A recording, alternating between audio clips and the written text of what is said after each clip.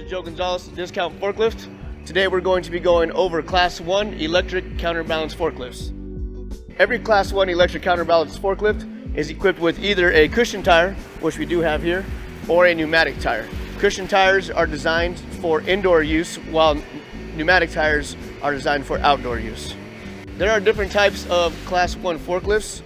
First off, we're going to go over our different types of masts. This here is what we consider a two-stage masts. There are two poles on this forklift. There are also three and four stage masts as well. The more mast stages that you do have, the higher capacity and the higher lift height you will have. Located on the side of your forklift will be a capacity rating. This is a 6,000 capacity rating. Your capacity rating will also be located on your data tag as well. This is the maximum capacity. Your lift height will also show the maximum height you can take of that load.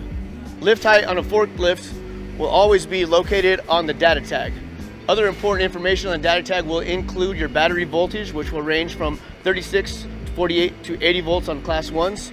You also have your max forklift height, your back tilt, attachment information, battery weight information as well.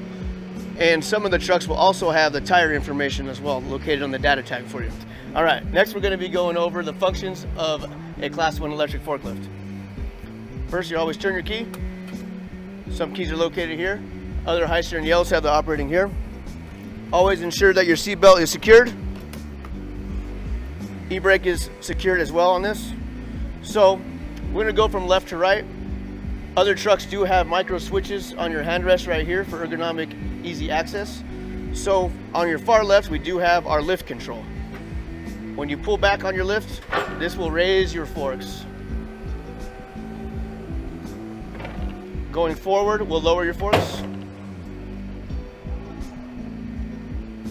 We'll be moving over to our second function here. This is our tilt.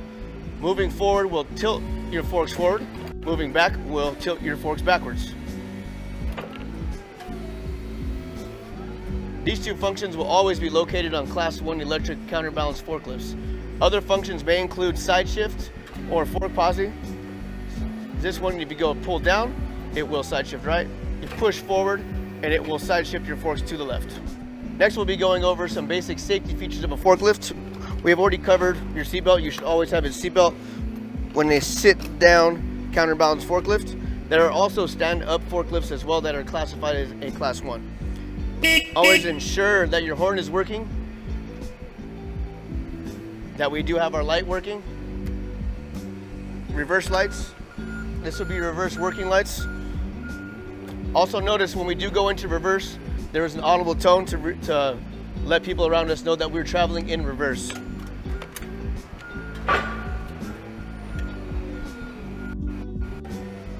When you are completed and going to park your vehicle, always make sure you put your forks down, tilted forward, always have your e-brake engaged.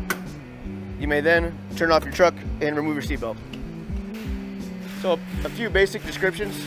I'm gonna go over your fork length here. Fork length is measured from the heel of your fork to the toe of the fork. Standard being a 48 inch fork. Where your forks sit on is considered a carriage. Carriages are divided into classes. Class 1 is going to be a 13, Class 2 will be a 16, Class 3 will be a 20, Class 4 will be a 24. Where you measure this will be located from where the forks reside on to the base of the carriage. We're going to do a little bit of information on our battery types. So right here we do have a 36 volt battery. Another way to measure your battery voltage without accessing your data tag here, you can actually count the number of cells that you do have. Going one, two, three, four, six. So that's eight. That's 18 cells total. And there are two volts per cell. So 18 times two. This is a 36 volt battery.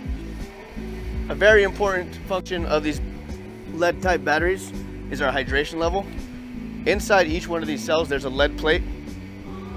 After you have a fully charged battery, make sure you check the hydration levels of your battery. If you do not have a watering system, fill it just above the lead plate and you'll be good to go. Take care of your batteries and the truck will take care of you for a long time.